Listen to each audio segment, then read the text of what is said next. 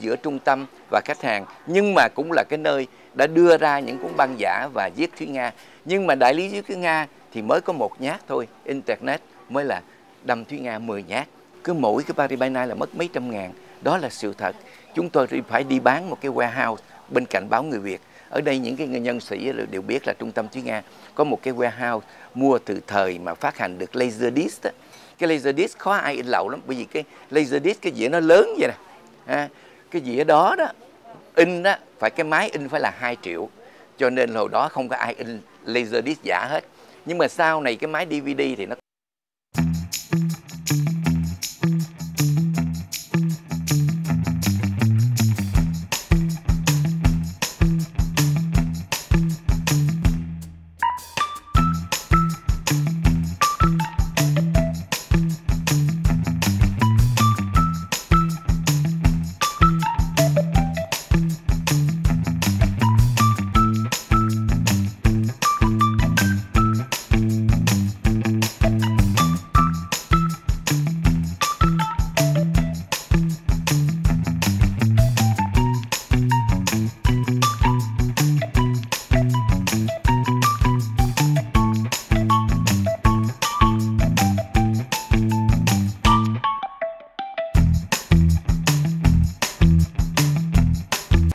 nay gì vì ông order 50 cuốn kỳ này ông nhích lên một chút ông order 80 cuốn.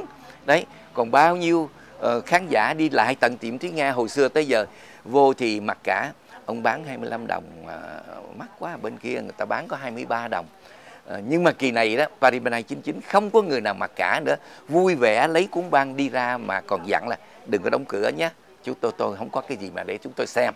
Đấy thì à, trung tâm Thúy Nga hết lòng đa tạ quý khán giả đã có một cái lòng đạo đức đó. Riêng về tôi thì uh, Paris 100 là tôi 73 tuổi rồi. Thì quý vị biết là người ta gọi là thất thập cổ la hy thì chưa chắc là tôi sống giờ nào. Thành ra còn sống được bao lâu? Thành ra đó đây là những cái lời mà tôi nói thật sự ra không hẳn là vì vật chất.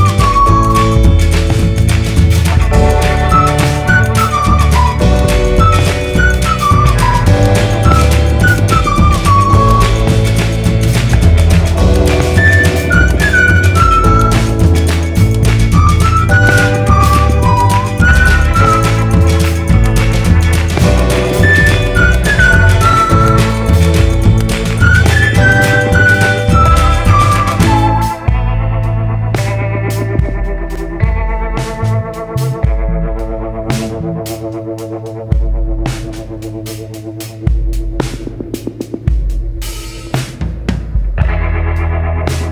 you